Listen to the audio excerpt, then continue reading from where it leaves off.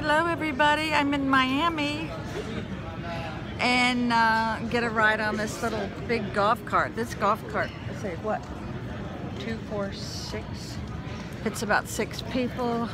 We missed the snow entirely. It was snowing, but they de-iced the plane, so we're fine. I just walked into the um, the perfume place and some woman just dropped a whole bottle, $135 bottle of perfume. So, so far everything's been good. See everybody soon.